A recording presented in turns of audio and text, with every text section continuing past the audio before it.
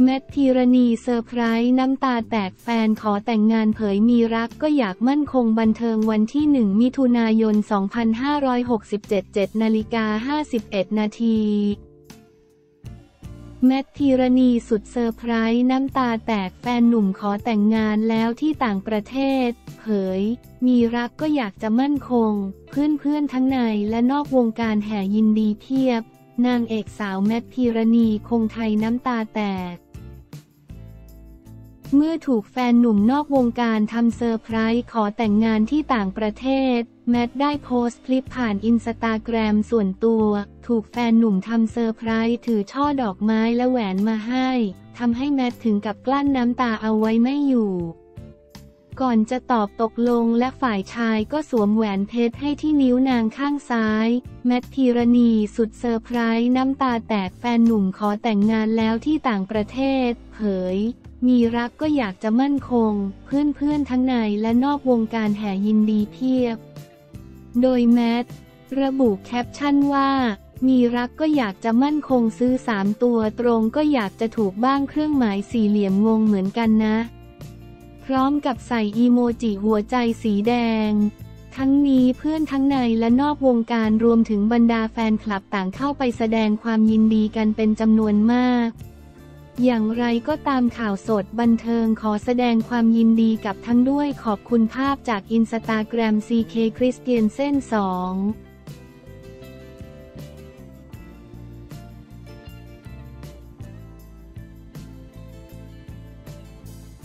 บทบรรณาธิการทรงพระเจริญประเด็นร้อนวันที่ 1 มิถุนายน 2567 11นาฬิกา49 นาทีเว็บไซต์ราชกิจจานุเบกษาได้เผยแพร่หมายกำหนดการพระราชพิธีเฉลิมพระชนมพรรษา สมเด็จพระนางเจ้าสุธิดาพัชรสุธาพิมลลักษณ์พระบรมราชินีในวันคล้ายวันพระราชสมภพความว่าเลขาธิการพระราชวัง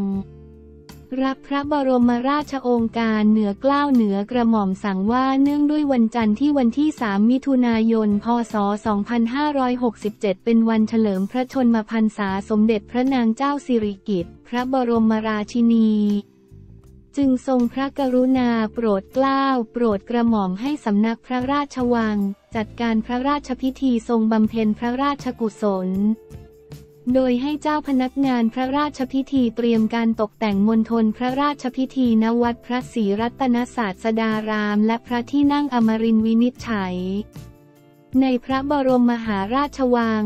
การนี้พระบาทสมเด็จพระเจ้าอยู่หัว และสมเด็จพระนางเจ้าสิริกิติ์พระบรมราชินีเสด็จพระราชดำเนินโดยรถยนต์พระที่นั่ง จากพระที่นั่งอัมพรสถานพระราชวังดุสิตไปทรงบำเพ็ญพระราชกุศลณสถานที่ดังกล่าว เนื่องในโอกาสอันเป็นมงคลสมัยดังกล่าว รัฐบาลได้ขอเชิญชวนประชาชนหน่วยงานภาครัฐ และเอกชน ร่วมกิจกรรมเทิดพระเกียรติสมเด็จพระนางเจ้าสิริกิติ์พระบรมราชินีตลอดทั้งเดือนมิถุนายนนี้ โดยจัดตั้งโต๊ะ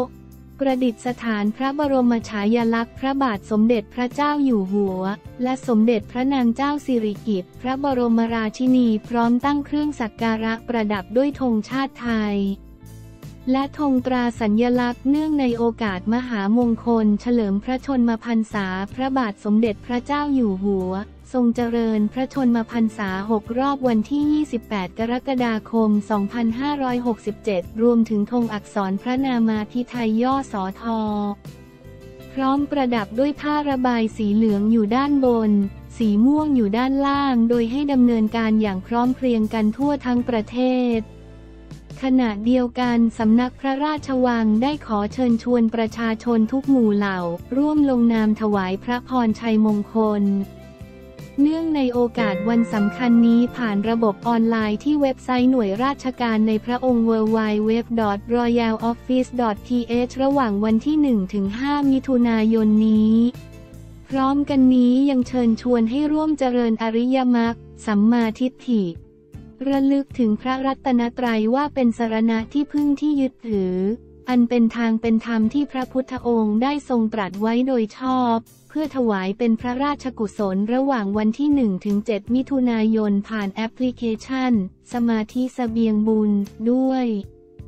สมเด็จพระนางเจ้าสิริกิติ์พระบรมราชินีทรงประกอบพระราชกรณียกิจน้อยใหญ่ เสด็จพระราชดำเนินเคียงข้างพระวรกายพระบาทสมเด็จพระเจ้าอยู่หัว ผู้ทรงคุณประเสริฐอย่างเสมอต้นเสมอปลาย ดังนั้นในช่วงค่ำวันที่ 3 มิถุนายนนี้ สมควรที่พระสกนิกรทุกหมู่เหล่าจะได้แสดงความจงรักภักดี และถวายพระพรชัยมงคลด้วยการจุดเทียนให้สว่างสวัยพร้อมเปล่งเสียงถวายพระพรให้กึกก้องไปพพร้อมๆกันกับพิธีการของส่วนกลางในเวลาที่กำหนดไว้แล้ว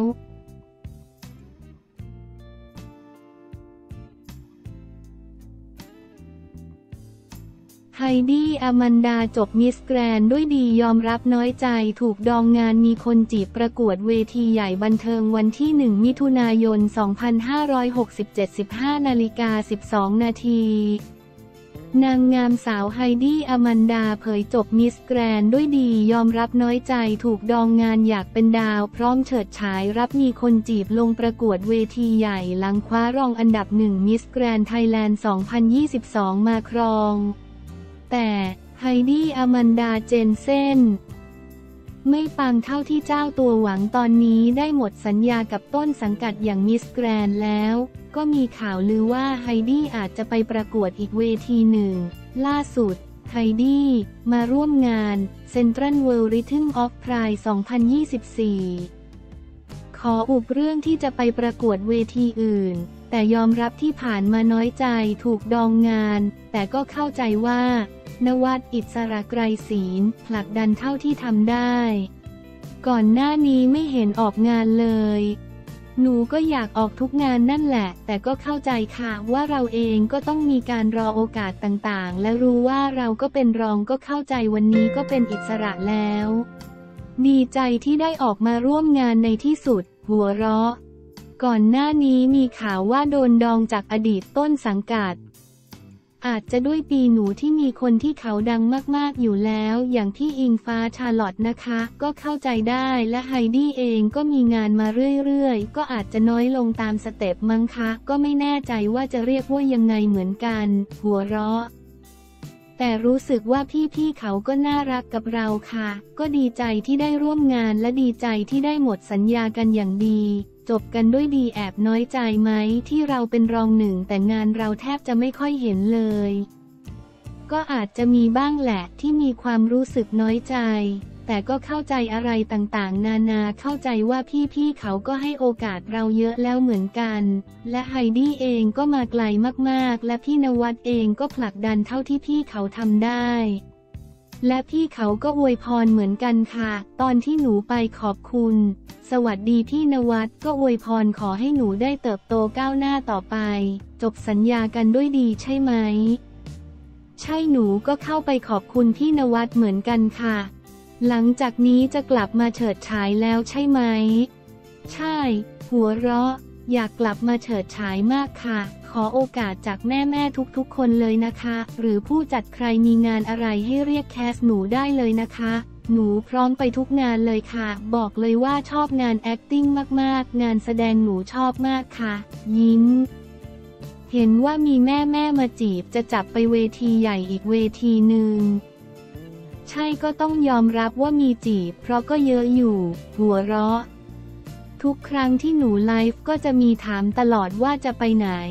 ยังไงก็บอกเลยว่าเราเองก็อยากโบยบิน เราเองก็อยากจะเป็นดาวหนูคิดว่าถ้ามีโอกาสที่ดีในวันหนึ่งก็อาจจะค่ะเพราะวันนี้ก็มีแม่แม่มาถามถามปรึกษาเราก็ฟังลองคิดดูแต่ยังไม่ได้ตัดสินใจ 100%ค่ะ แต่ต้องกลับมาอยู่บนเวทีอีกครั้งแน่ ๆ เราก็รู้สึกว่าเวทีก็เป็นที่ของเราด้วย ก็ยอมรับว่าตอนที่มีโอกาสได้ยืนจับมือ ก็คาดหวังไว้ค่อนข้างมาก ก็รู้สึกว่าในวันหนึ่งถ้ามีโอกาสเป็นไปได้ ก็อยากจะให้ชื่อที่ถูกเรียกในวันนั้นเป็นชื่อเรา ก็ยังมีความหวังอย่างนั้นอยู่ค่ะตอนนั้นก็เหมือนฟิลเป็นแผลใจก็ร้องไห้แซดหนักเหมือนกันนะช่วงเวลานั้น เราก็อยากจะมีโอกาสได้เอื้อมถึงบ้าง คือตอนนั้นเราใกล้มากๆ หลังจากนี้อยากจะใช้นามสกุลอะไรต่อท้ายว้ายเสียงสูง จะเป็นอะไรเหรอคะ ยังไม่ได้คิดเลยค่ะ หัวเราะ ก็รอโอกาสแล้วกันค่ะ รอดูว่าสุดท้ายแล้วไฮดี้จะได้ไปลิขิตอยู่ที่ไหน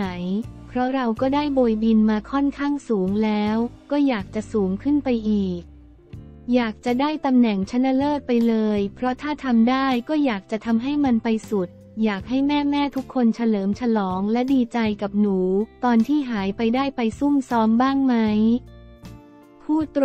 งๆก็ยังไม่ถึงขั้นเตรียมตัวค่ะ เพราะมันยังไม่ final แต่เตรียมตัวในเรื่องอย่างอื่นก็มีค่ะ เรื่องหุ่นเรื่องอะไรหนูก็พยายามฝึกซ้อมให้ตัวเองมีหุ่นที่ดี